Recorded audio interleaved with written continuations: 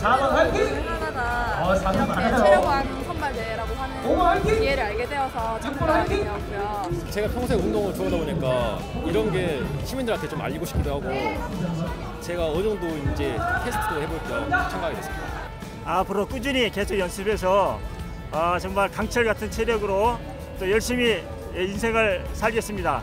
감사합니다.